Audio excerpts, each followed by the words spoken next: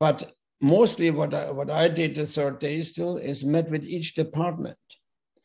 Each department, the dishwashing department or the maid department or the marketing department, it doesn't matter.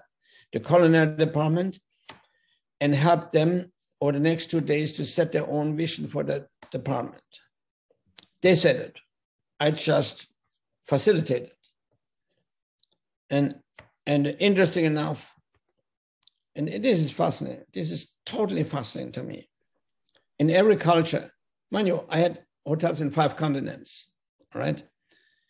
In every culture, it doesn't matter where it was, if that was Japan or Jamaica or Africa or Germany or, or Philadelphia again.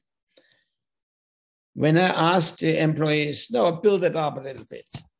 Who do you want to be as a department in six months from now? What do you want to be? Mm-hmm.